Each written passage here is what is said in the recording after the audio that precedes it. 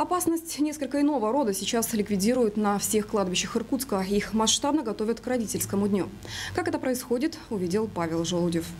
Необходимо обойти каждый сантиметр погоста. А на Александровском кладбище это без малого 100 гектаров. Сегодня здесь специалисты уничтожают клещи. Сезон в самом разгаре, вдобавок скоро родительский день, когда тысячи людей будут навещать могилы своих родных. Именно поэтому на всех городских захоронениях противоклещевая обработка ведется уже несколько недель. Обработаны Маратовское кладбище, э, Александровское кладбище, э, Кайская роща, Синюшина гора и другие территории.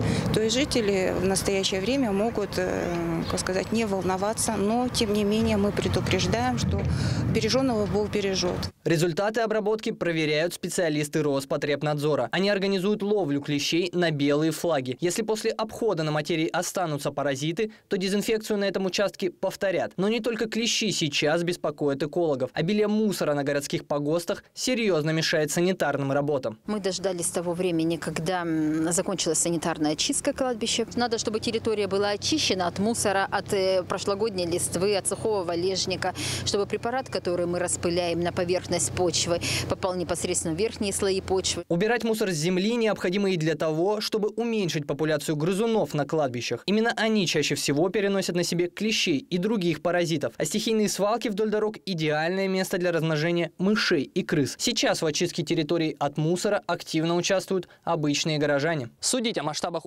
уборки на этом кладбище можно хотя бы по заполненности мусорных баков. На всей территории не встретить пустующих урн. А сами горожане убирают не только могилы своих родственников, но и те захоронения, которые давным-давно заброшены. В этом году Радоница выпала на 10 мая, и масштабная уборка на кладбищах начнется только на длинных выходных. Тогда для своевременного вывоза мусора будут курсировать спецмашины, чтобы в конечном итоге все городские захоронения были не только безопасными, но и чистыми. Павел Желудев, Сергей Полянский. Новости по будням.